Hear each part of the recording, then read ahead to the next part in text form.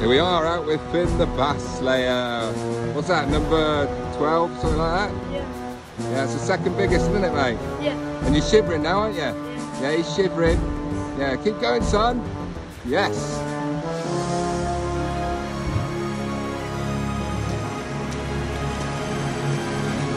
Good man.